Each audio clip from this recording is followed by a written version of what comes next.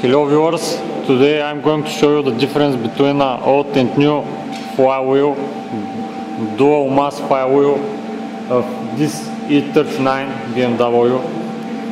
Uh, we already removed it. This is how it looks from behind the engine, the flywheel is removed.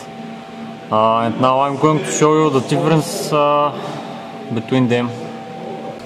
Okay, so this is the new flywheel it has uh, one, 130 teeth on it. So we need to figure out how much the grease is every teeth so we're going to I already do it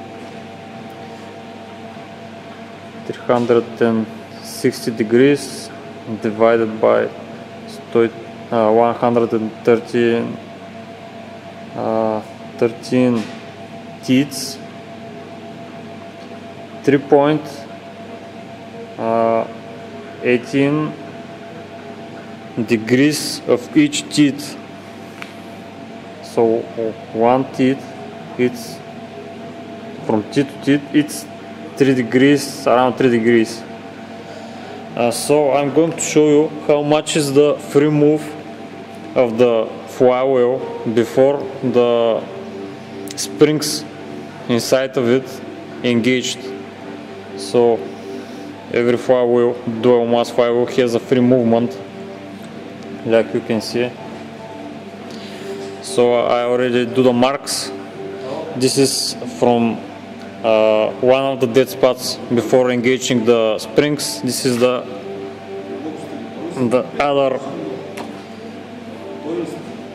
end of the, the springs. So this is the free play a new flywheel. This is especially Sachs. Uh, it's really expensive. Uh, has little difference, differences from the original one, but it's going to do the same job.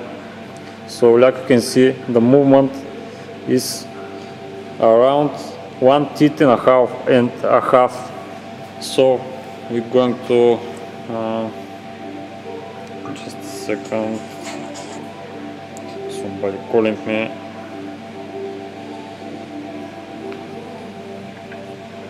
So, come on. This is going to be multiplied by 1.5. So we have movement of 4.77 degrees of a new flywheel. This is the free move before the spring engage Okay, this is uh, old flywheel. It has around 230 and 30,000 uh, kilometers on it. Not sure how much miles is this. Again, it has uh, 113 uh, teeth on it. Again, every teeth is uh, around 3 degrees. Uh, and I'm going to show you how much free movement it has before uh, springs engaged again. Uh, I already make the marks. And like you can see it has mildly more. You can see the, the mark is going a little further to the second teeth but still it's on the one teeth and a half and maybe a little more. So this old, old flywheel only it has a little wear on it it's OEM the original one. So uh, around after the, the second teeth maybe the third teeth one if you have, uh, have free movement of three teeth I think it's time to change the flywheel. Uh, because the inertia you, you're getting to uh, hitting the springs is going to be a bit large and it's, it's you're probably going to break them for a short period of time. So just wanted to show you uh, how, how, to make a difference between uh, your flywheel.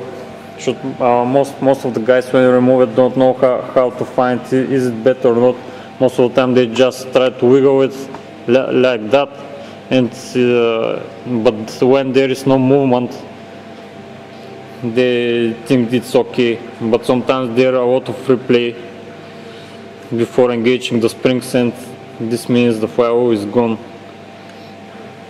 So there is not a lot of difference between these two.